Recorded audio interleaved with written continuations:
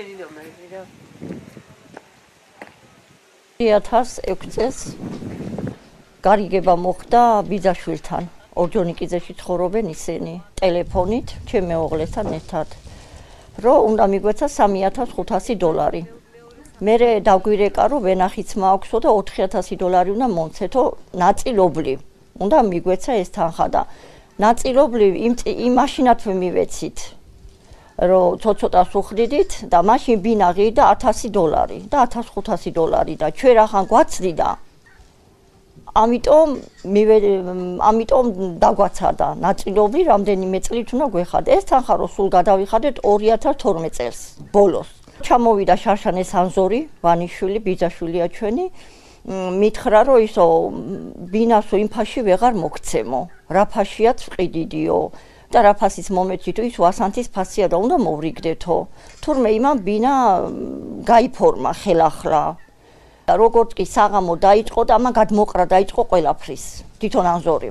ლანძღვა გინება ყოველ დღე აღარ შეგვეძლო. რასაც გვეძავდა გარეთ გვიყრიდა ყველაფერს. თხუილი ათღვილი ეგ მაგის ლაპარაკი თუ თხუილი არის მე რასაც გეუბნებით ის არის მართალი 1000 დოლარი 1000 დოლარი და 500 ლარი.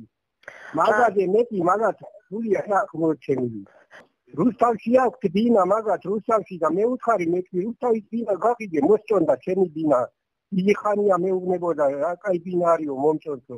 მოსწონს მე დინა გაგიგე შენი რუსთავის დინა და მე ჩემი ფული მომეცი და შენი ესმე ჩემი დინა და ეგ ხალი თხოვს ესე იგი რაც მომცა ის ფული.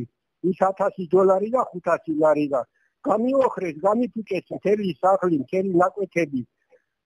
აი მირდანდი და ნახეთ რამ მდგომარეობაში არიან ჩემი სახლი და ეს ნაკვეთები და.